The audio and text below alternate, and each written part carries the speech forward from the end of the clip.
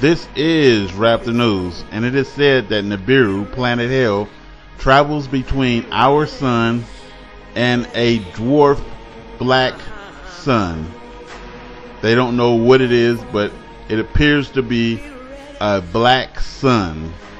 And so today we are going to be studying and taking a look at this black sun because what I mistaken for the sun just going out may not be that.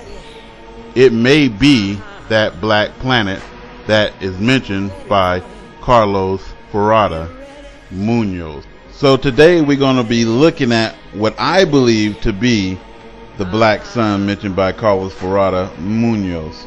So watch this. We're zooming in on the eclipse and then we can see the sun and then the closer we get we can see another object. You know so it appears to be three objects right there. You know a light source a black source and then another light source behind the black uh, planet or dwarf sun. I don't believe at this instant that that is our sun. I don't believe it anymore. So basically like i said we babies in all of this. We do not know exactly what's up there. We have been lied to and nobody is going to tell us the truth. So we have to figure this thing out ourselves.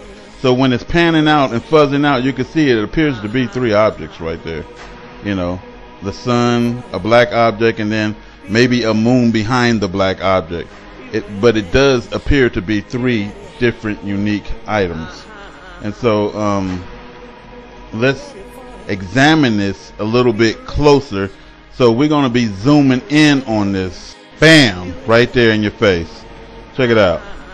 It appears to be some strange light flickering in and out to the left. That's the uh, that's different from the light that's behind it. And then it appears to be a light behind it and then a black planet, like a dwarf planet. I don't believe that is our sun.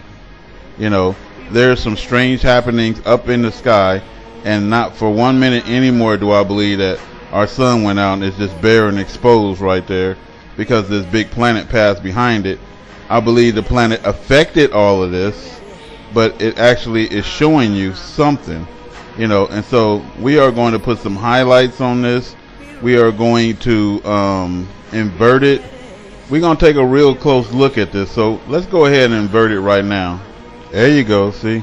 Now you can see that strange light to the left is flickering in and out it's, it's it's apparently obvious that it looks like a planet is right there in the middle, uh-huh. and then it is a strange glow behind the planet. So each glow looks totally different from each other. So it looks like it's three objects right there. Just like I said, it could be our sun, uh-huh. it could be the black planet, and it also could be a moon behind it all. We don't know, you know, or it could just be the sun going out, you know, like we originally said, but I don't know. We're gonna shine the light on this because we're gonna get a little bit closer. Cause I don't think we close enough, man. So let's zoom in some more. Bam. See. Now look at how the the sun is reflecting off of this. It's reflecting off of this planet, man. You know, people act like they scared to actually zoom in on this, but uh, fear ye not, man.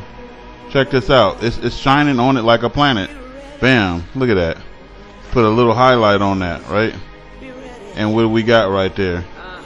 It appears to be, just like I said, an object to the left, an object behind, and, and, and look at how the sun is shining on it. Look at how it, it, it's, it's lighting up as the sun is shining on it. See, it appears to be another object, people. So we might be looking at, you know, the dark star, the sun, and I don't know what the reflection is you know, just like I said, we don't know everything. We babies, we learning. You know what I'm saying? So there you have it, people. We back zoomed out. So it appears to be a light that's flickering. It appears to be some type of black planet. And look how it's glowing, you know. And then it appears to be a light behind it.